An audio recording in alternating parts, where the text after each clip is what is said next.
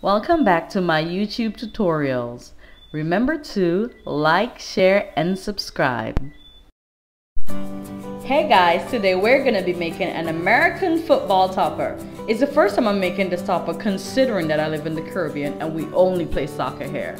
A special shout out to the birthday boy Andre who was here all the way from Canada and he really loved this cake. Let's get started. So I'm needing a piece of fondant that has already been colored. It's a darkish burgundyish color. It was a bit too dark, but I made it at night and that's expected. Now I'm just forming my ball, a ball. I like to start from circles, trying to make it as seamless as possible to work with. Also, I had a piece of sponge. It was a bit too firm in the end, but just to keep my topper on and I covered it with plastic wrap so that it wouldn't actually be touching the sponge.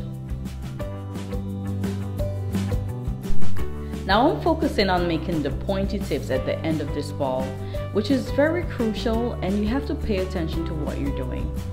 I take my time, it took me about 10 minutes to form this ball, taking it from end to end. As you see, I would cup my hands and drop the ball in between, creating a bit of a cup.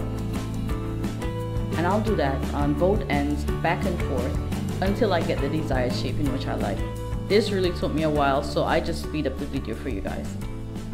Fun fact, when you're working with mediums, especially sugar mediums, and you really need your stuff to firm up nicely and keep its shape, you can add a mixture of gum paste and fondant, which is what I actually have working with here.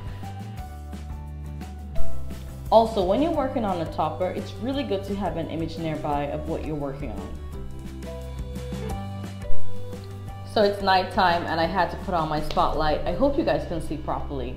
So what I'm doing now is rolling out a white piece of fondant on my surface. Depending on the medium you're working with, you will have to use some sort of powder or confectioner's powder or cornstarch so that it wouldn't stick to your surface. However, I am using a very smooth surface, so I don't need that. I'm using my favorite blade ever. You can use a knife with a ruler to get straight cuts, but this really makes my job quicker, easier, more efficient, faster, you name it. It's one of my favorite tools. I got it a few years back. It's actually for making clay pieces, but it can work. So what I'm doing here now, I'm cutting a few strips, those that would be used for the shorter length and also for the middle length, which is the longest. In total, I would need nine, eight across and one down.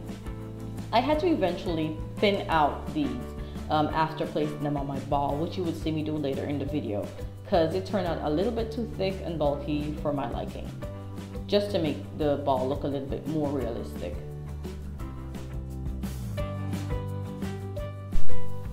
So when I'm trying to get even pieces, what I usually do is line them up on each other and then I would use my tool and I would cut straight across in each edge.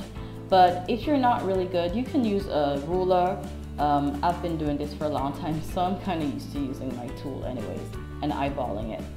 But I advise you to use a ruler and do some measurements.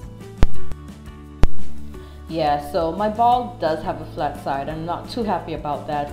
After realizing that my sponge was just a bit too firm, so try and use a soft piece of sponge. What I did was cut another piece of sponge and try and make a little tilt it a bit more up, seeing that my ball will be sitting in an upward direction on the cake. So I'm using my tool right now to just make a few indentations um, where the lines are and this makes it really easy. Imagine trying to use a knife to do this. So this is why I love using this tool. I can see if I find it and put it in the description box. When working on your toppers, you want to add as much details as possible. And as simple as this is a ball, adding a little bit of threading, all the little bit details, not missing anything, even down to the texture of the ball, will actually improve the quality and the finish of your topper.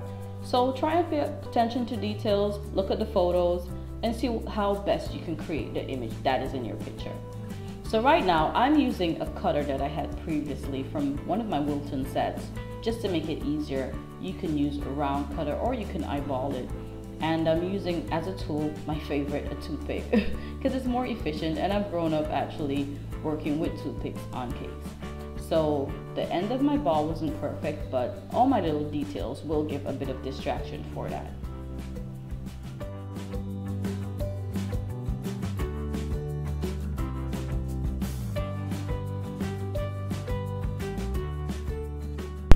So I'm going to be adding the strip on the middle of my ball. Now I'm just gonna eyeball this try and get it on even ends of the seam and cutting it right where the design ends. You know, you can use a little bit of water to apply yours, but my ball is pretty sticky, so I didn't need to do that. I'm gonna be using my balling tool. You can use the end of one of your paint brushes, or you can also use a toothpick and widen the hole if need be. So I just made a placement of where I would like my first hole to be, and then I would use my tool, or you can use a knife, just to make an invisible line so all of my holes are in a straight line going upwards and everything has a nice neat placement.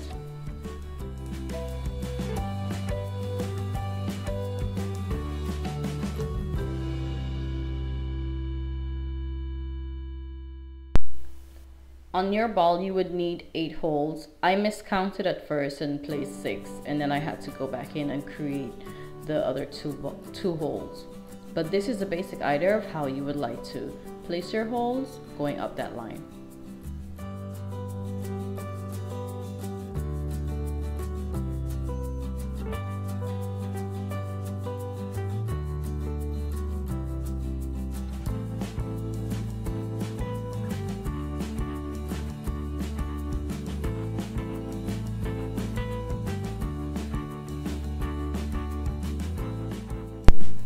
Yeah, so as I said I had to replace that middle strip. It was just too thick and bulky. And as you can see, the difference here now is where I put on a thinner piece. And I'm also going to make my laces a lot more thinner. So I'm just using one that I had previously as a guideline to recut the others.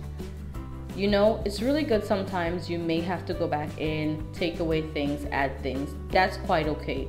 As long as at the end results you have a very neat finish, that's all that really matters and it looks more realistic. So as you can see, I had to use a little bit of water um, just to place my laces in the right placement.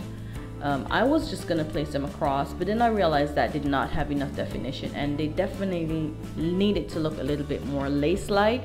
So what I did was curve them at the bottom um, and then I discovered a little trick with my toothpick where I can actually fold them over the toothpick at the tip like I'm gonna show you now and you can actually get that little curve and it looks more lace like where the lace is tucked in between the hole.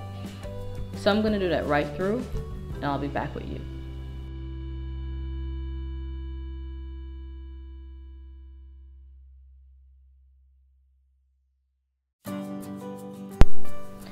So this is pretty time consuming as though it seems pretty simple. It took me approximately about four hours to work on this ball, um, including recording time, um, I guess, also because I was recording.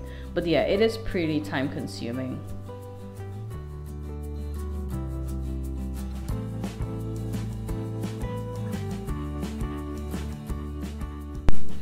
So sometimes when you're doing something new, you like to experiment like myself and I love that painted effect on the ball you know the football that rustic look. And I tried it on my ball. But eventually as the white um, food coloring that I used to paint on the strips started soaking in man it started observing all the color from the ball and it was just an epic fail. I eventually had to remove it wipe it off thinking that okay well my ball is wet because it was damp still that night. I'll try it again in the morning. So I took it off, decided, hey, I'm gonna try it again in the morning. but it didn't work out either.